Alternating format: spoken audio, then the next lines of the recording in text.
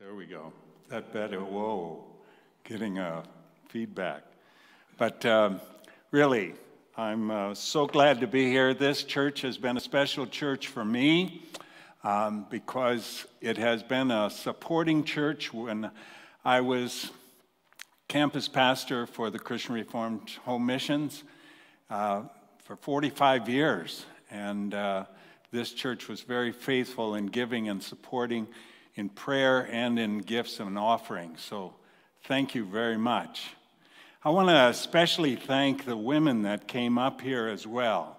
Um, we've had a rough week ourselves, my wife and I. Um, there was the woman who was the maid of honor in our marriage ceremony 56 years ago um, has had a really difficult time, she and her husband, with um, a son, and that son had an up and down life. And um, he spent time in prison, he abused alcohol and, and drugs. But there, was, there were times of brilliance and beauty in his life. Um, I was asked to be, to officiate at his wedding, and that was a, a wedding I'll never forget. Uh, it was held in, of all places, the rotunda of the Pennsylvania State Capitol in Harrisburg, Pennsylvania. And it was, there was uh, a flight of stairs and then a level spot and then another flight of stairs, just very majestic and powerful. And we stood on that level space halfway up and everybody else was down. I mean, you could not forget that kind of marriage ceremony. And we did not forget Tom. He became a friend and, and his wife, Teresa. But Tom just last Sunday, we got a call at 7:30 in the morning. He was we knew he was sick and it was very difficult. We had gone to Pennsylvania to see him in the hospital, and uh, the call told us that Tom had died. And so Tuesday is going to be his funeral, and so we're going back to Pennsylvania. But um, it's just such a, a hard thing when you go through difficulties, right? Um, and yet, um, there was, when our son was born, his life hung in the balance as well. And uh, they rushed him out of the delivery room to an incubator. And uh, that night, it was just such a hard time. And one of my friends, Dirk Artsma, pastor of another church in Denver. I was pastor of a church in Denver, the Fairview Christian Reformed Church. He came and stood next to me in the delivery room or in the uh, intensive care. And he said to me something you should never say to somebody in that kind of situation. He said, Ken, I know what you're going through. And I was ready to say, Oh, no, you don't. But then he said, because I stood next to the incubator of my first son. Then I was all ears. And all he did was quote 2 Corinthians 1 3 through 5. Blessed be the name of God our Father, the God of all comfort, who comforts us in all our situations, so that we can be a comfort to others in their situations. Wow. What a message from God. Dirk was doing that to me from the comfort that he had received from God, his Father. He now was sharing that with me. And that, I hope you'll remember that just as a, a very helpful thing that when God, when you are in difficulty, know that God is with you. The last point of my sermon is the very last promise that God gave to us. We ought to really listen to that, right? The last promise God gave to us. He said, Surely I am with you always. Now, I'm going to do something I didn't plan on doing. I want to just throw this in as well because this was such a help to me in my prayer life. I was raised with the I was raised in a Christian home and I'm just so grateful for my parents and for the Christian education that I had. And I was raised with the um, habit of praying, Be with me as I do this. Be with Aunt Mabel in the hospital. Be with, be with, be with. And a student said to me one time, he said, Pastor Ken, why do you pray for something that's already true? We don't have to ask God to be with us. His last promise was, Surely I am with you to the end of the age. Wow. What a difference to pray, remind me through the day that in the midst of the troubles, you're right there with me. I don't have to ask you to be with me, you're with me. Thank you, God, for being that kind of a God. Well, I, I have to get to my sermon. Um, that was not my sermon, but uh, I'm wearing a button. And this is a button that every mom probably will want to get and wear. I made this myself, but uh, the button says PBP, GINF, WMY. And the story goes that a mom went to a mother's conference, a women's conference. And they were each given a button like this. And so when this mom came home, her little girl naturally said, Mommy, what does your button say? And she said, Please be patient God is not finished with me yet. She said, Oh, wow, I like that. Can I wear that? And mom said, Sure, and pinned it on her little girl. She went out to play in the sandbox. And uh, of course, one of the other kids saw her button and said, uh, What does your button say? And she proudly announced, Please be patient. God is not finished with my mommy yet. And isn't that true as we come together tonight, today, to worship God? God is not finished with any one of us yet. I think that's why He brought us here this morning, right? For us to hear something from the panel, from the songs that we sing, something that will uplift us, point us to Jesus, and give Him thanks and praise. My life verse is Psalm 71, turn that around and it becomes Psalm 71, verse 17. And this is what it says Since my youth, O God, you have taught me. I told you already, I had a Christian education and a Christian family to grow up in. And the beautiful thing is that my parents not only talked about God, but they lived it. And that's really what my sermon is about this morning. From my youth, O God, you have taught me, and to this day I declare your marvelous deeds. That is a task all of us have the privilege to do, to declare God's marvelous deeds. Even when I'm old and gray, this is verse, 7, verse 18, Psalm 71. Even when I'm old and gray, I'm old and I would be gray if I didn't shave my head.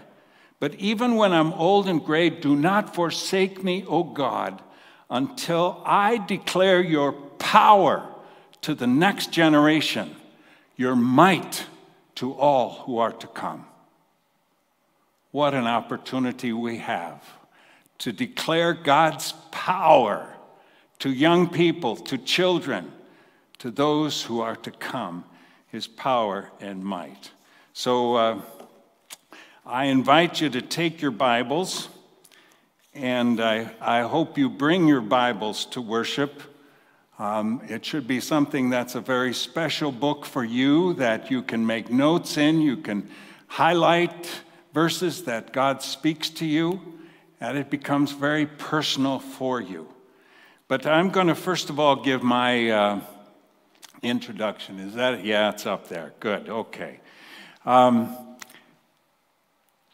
some of you may remember, I don't know if it got this far north, but it certainly was in the Paterson area where we had God trucks. And uh, I was in Benigno's tire store waiting for my car to be ready. And I was also planning what I would do for a marriage ceremony that was coming up. And I thought I want to have something original and something helpful. And as I was thinking about that and praying about it, a God truck went by. Those were trucks, semis, and on the trailer, it had a huge G period, O period, D period. And it stood for guaranteed overnight delivery. And I thought, wow, God truck.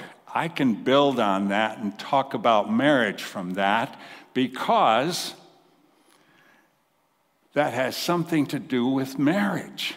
The G period could stand for God, the O period would stand for opposition from Satan, and the D period could stand for demonstrate. Here's what I shared the marriage triangle. You know what a marriage triangle is. It, it is when a third party comes in and pulls away one of the two that are married. But this illustration works for the construction of a marriage, not the destruction of a marriage. The marriage triangle with God is that God is at one angle of the triangle, you are at the other angle of the triangle, and your mate is at the third angle. And here's the, the insight that helps me so much. As mother and father, husband and wife grow closer to God, who's at the third angle, they grow closer to each other. As husband and wife grow closer to God, they grow closer to each other. I love that. So this morning, I've got three points G period, O period, D period. God, opposition, and demonstration. I want to begin with the question what's your testimony? As you look back on your life, what has God used in your life to bring you here this morning?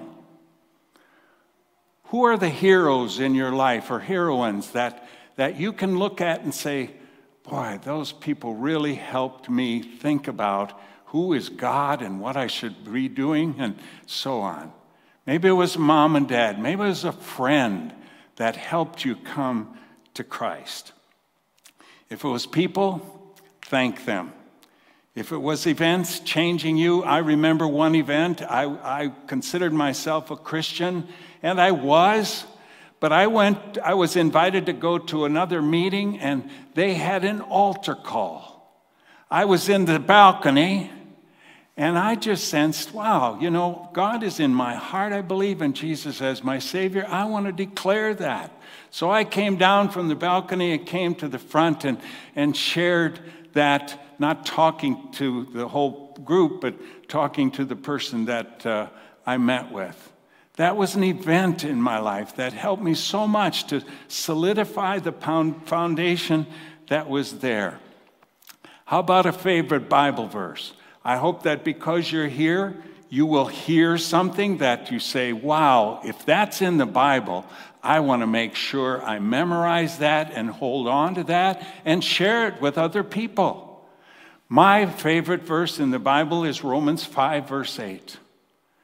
God demonstrates, remember the D period, that's demonstrate. God demonstrates his love to us in this and get this while we were yet sinners, Christ died for us. Is that powerful? Wow. While we were sinners, it wasn't that we were so good that, look, God, how good I am. No, we confess I'm a sinner. I need salvation. I can't get into heaven, that home that we sang about um, before. Well, helps in your testimony. I think, uh, is that coming up? Ooh, let's, let's go on. Yeah, the three G's and the three S's. In Reformed theology, this has been such a help for me. The three G's, well, the first G starts with God. Actually, um, yeah, let's, it starts with guilt before God. And uh, that, the first S, is sin. And that's really, on campus, I would have opportunities so often as people, as students and faculty would stop by the table that we had with Christian literature and so on, and we would start talking. So many times I would say, Romans 3:23, all have sinned and come short of the glory of God. And I'd say to whoever I was talking with, does that include you, that all? Oh, yeah. Does that include me? Sure does. And so you start out with knowing our guilt because of our sin before God. But then the next G, G period is grace, that undeserved love. While we were yet sinners, Christ died for us. And that provides salvation, the second S. And then the third G is the result of the first two. If we're guilty before God and He forgives us, then we want to say thank you, gratitude. And third S is service. So, gratitude in service. That's why I want to live. That's why I say I'm uh, not retired, I'm redeployed. When you reach a certain age, you don't just stop working for God, you go on as His servant as well. And I'm so glad to share with you. One of the elders said to me, What's this on your neck? And it's a dog tag. We have, my wife and I have gotten involved with the New Jersey Coalition Against Human Trafficking. This was made by women who have been rescued from human trafficking. And the men wear a dog tag that says, not buying. Women wear a dog tag that says, not for sale. And I shared with the men in the, and women in the council room human trafficking is the second largest global crime, just behind drugs. Can you believe that? The selling of human beings, the selling and buying of human beings is the second largest global crime. And as Christians, we can respond with gratitude and service that God has freed us from the, the slavery of unforgiven sin. Well, I've got to get going here. Um, the, uh, the second point of my sermon is opposition, right? O period stands for opposition. And I want to read something of the opposition in one of my favorite passages to preach on, and that is Matthew 28. And I'm going to begin, that's of the resurrection, but I'm going to begin with the last part of Matthew 27. The next day, this is after the crucifixion, the chief priests and the Pharisees went to Pilate. Sir, they said, we remember that while he was still alive, they're talking about Jesus, that deceiver said, After three days I will rise again. So give the order for the tomb to be made secure until the third day. Here's, O period, the opposition, right? Otherwise, his disciples may come and steal the body and tell the people that he has been raised from the dead. This last deception will be worse than the first. Take a guard, Pilate answered. Go, make the tomb as secure as you know how. So they went and made the tomb secure by putting a seal on it, on, its, on the stone. I don't know if they had cement at that time, but they used some kind of a seal to hopefully keep the stone in place so Jesus couldn't get out of it and they posted a guard. That's the opposition to Jesus, okay? let's go on and uh, I'll talk about the opposition that comes in Matthew 28. We'll start at verse 11. Jesus has already broken out of the tomb, all right? He's already risen. And listen to what happens. While the women were on their way to tell the disciples, some of the guards, not all of the guards, some of the guards, maybe some of the guards became believers because of it, but some of the guards went into the city and reported to the chief priests everything that had happened. When the chief priests had met with the elders and devised a plan, here's another plan of opposition, right? We're putting a seal on the stone didn't work. Here's, let's try another plan. They gave the soldiers a large sum of money. Money talks, bribery. So that'll keep Jesus from uh, doing what he's doing telling them, You are to say, His disciples came during the night and stole him away while we were asleep. What's wrong with that kind of a plan? You know what the, the result of a Roman soldiers sleeping on guard? Death. So that doesn't work. Um, if this gets to the governor, don't worry, we'll satisfy him with a bribe and keep you out of trouble. So the soldiers took the money and did as they were instructed. And this story has been widely circulated among the Jews to this very day. Jesus rose from the dead. He overcame the opposition. He won the battle. And so we're fighting on the winning side. That's tremendous, isn't it, to know? I mean, sometimes I listen to baseball games on the radio or on, more on TV, and uh, if, you, if it's a game that's already been played and your team won, wow, that is just fun to watch, isn't it, rather than not knowing the outcome? And so we're fighting on that winning side. And uh, I want to end with the definition. D period e- equals demonstration. I found this in verses 16 through 20. This is what God uses to overcome the opposition plan. Then the 11 disciples went to Galilee, to the mountain where Jesus had told them to go. Jesus loved mountains. When they saw him, they worshiped him. Now, think about that. If Jesus was not God, he would have said to them, What are you doing? Don't worship me, worship God. Jesus accepted their worship. And then he said this All authority in heaven and on earth has been given to me. Therefore, because God has all authority, because He's already won the battle, He says, Go and make disciples.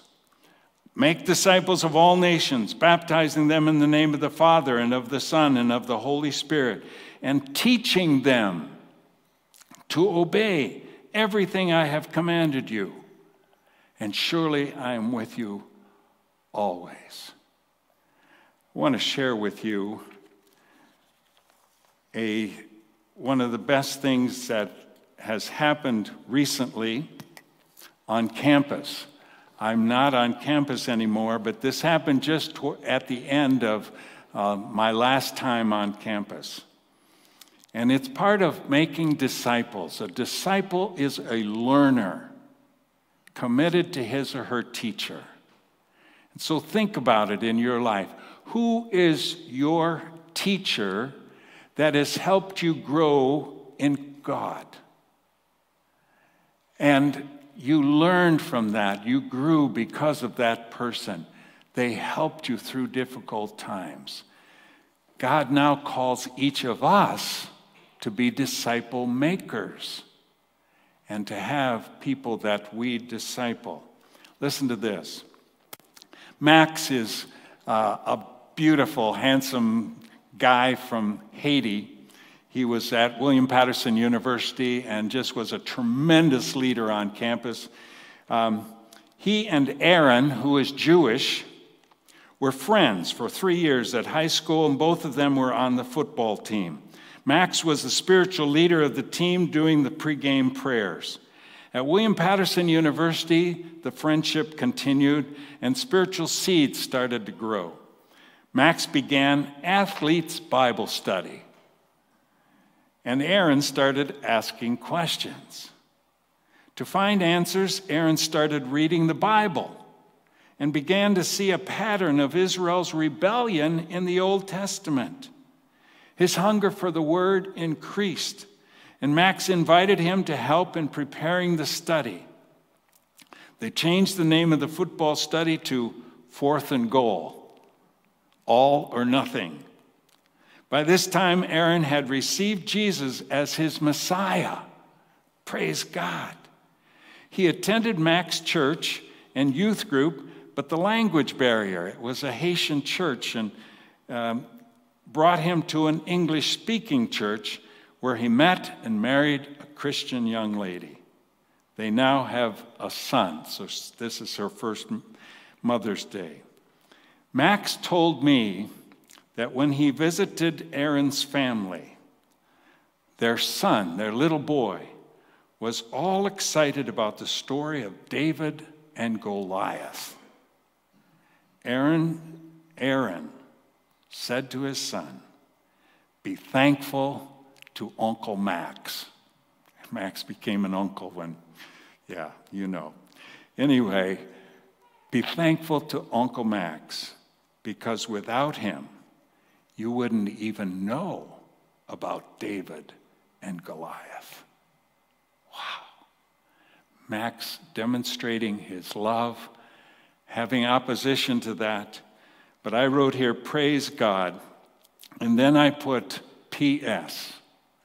Aaron suffered because of his commitment to Jesus as Lord and Savior. His grandparents abandoned him. So the opposition is there. And yet, I want to urge you and encourage you to realize we are fighting on the winning side. God has gained the victory, and we celebrate that when we come together to worship Him. Um, I have something here that I brought along. It's uh, something I worked long and hard on. You'll recognize it, of course. It's a chain, if you don't know. Um, this was shown to me, and I love it because God used people in your life ahead of you. If you're at the final link of the chain, God used them to bring you to be part of the chain of serving Jesus, of learning more about Him. And uh, I really appreciated that. And I used this as an illustration probably 40 years ago in the uh, Richfield Christian Reformed Church in Clifton, New Jersey. And as I met people afterwards, as I hope I can meet you, um, a kindly old gentleman came up to me and he said, Can I see that chain? I said, Sure. I had it. and I held it up like this. He said, Pastor Ken, you know, you got it all wrong. Pastors don't like to hear that, right? At the, at the end of a sermon, you got it all wrong. I said, Really? I said, What did I get wrong? All he did was take the bottom rung, which was him. He said, That's me. And what you need to do is you need to do that. I said, Thank you so much. You are right. If we have received from others, we are now to make disciples of others and be the link, just as Max was the link to Aaron and Aaron to his sons. We now have the command from Jesus. The last command Jesus gave to us was make disciples. That is our assignment. If we name the name of Jesus as our Savior and Lord, we are to make disciples. We are to pray about who is it that God you want me to disciple. Certainly, people in my family, but who else are you providing around me who are maybe newer in their faith or I need to learn more as, so that I can be learning as well.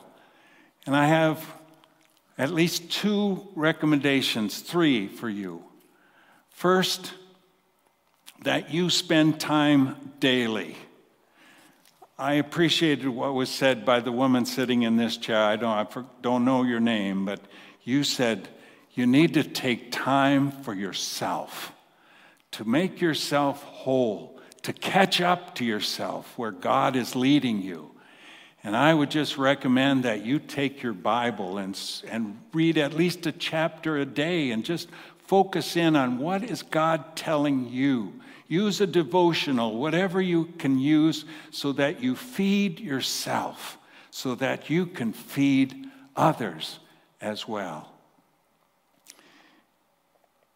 And um, that's, that's really the important thing that I want to share with you that final command that Jesus has given. Oh, I know, I forgot the second thing about discipling. Make sure you're in a small group. Can be two, three, maybe more, where you are sharing, as the women did up here, learning from each other what they were sharing, what they were going through, and pray for them. But then the third thing is to come to worship like this, to be lifted up by the woman over here that said, I was so helped by the elders from the church coming and talking to me. Fantastic. So, the final command of Jesus make disciples. That's our marching orders. And the final promise of Jesus surely I am with you always. Let's pray. God, we're so grateful that we're fighting on the winning side. Thank you that you have assured us that as we go through the difficulties of life, as we mourn the death of loved ones, as we have to deal with difficult situations in our own homes, at work, wherever it is, we're so grateful that you have promised as we make disciples that you will help us, that you will be with us. Thank you for this congregation, for their constant efforts to help each other grow in you. And Lord, we pray that you will continue to expand the ministry. Thank you for the opportunities that we have. Make us aware of them and remind us, and remind us too that you're with us always. In Jesus' strong name we pray. Amen.